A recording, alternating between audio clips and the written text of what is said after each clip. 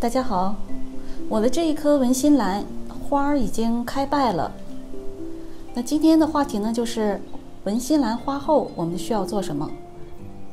那当初呢，这颗文心兰开了三枝花，这个球茎和这个球茎，还有后面这个球茎，每个球茎上都有一个花枝。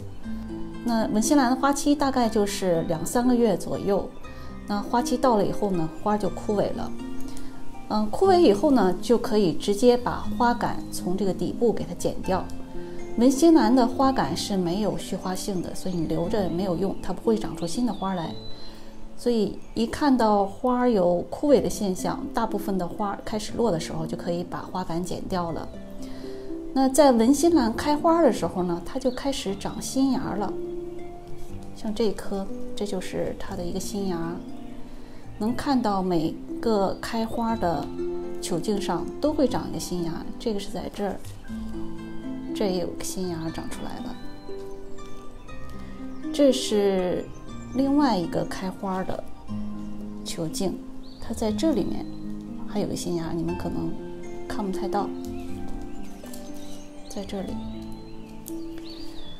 就是在它开花的时候，一边开一边长一新芽。花后呢，这个新芽就会长得更快一些了。那么花后需要做什么事呢？其实只需要做两件事。第一件事就是要及时的浇水施肥。那浇水呢，就是见干见湿。它见干见湿指的是表面上你看到它的盆土已经干了，那就需要给它浇水了。那文心兰和蝴蝶兰浇水的方式是不一样的。蝴蝶兰呢是干透浇透，就是所有的植料都干透以后再浇水。那文心兰呢是见干见湿，就是表面上看到干了就要浇水，它有可能底下还是湿的。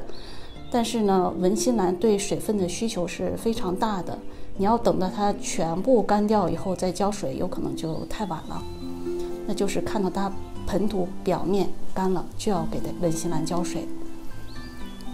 那还有一点呢，就是施肥。那因为这时候呢，已经开始长新的球茎了，这时候就是它的积极的生长期了，长根长叶的积极的生长期。这时候呢，我们要给它施生长肥了。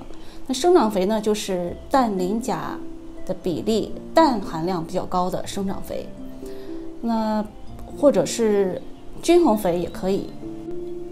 那还有一点呢，就是要给它充足的光照。那么在它开花的时候呢，我们把它拿到了室内光线不太好的地方来欣赏到花。等花后以后呢，我们再拿到窗边能够得到阳光照射的地方。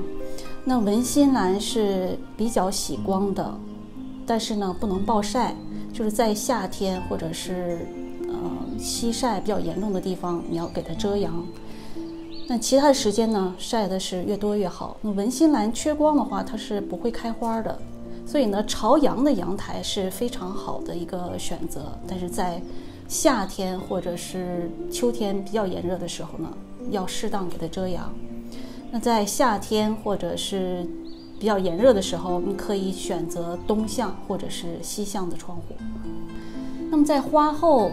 有的花友还问能不能给文心兰换盆，那这时候我是不建议给文心兰换盆，因为文心兰的新芽还在生长，新芽的根还没有长出来。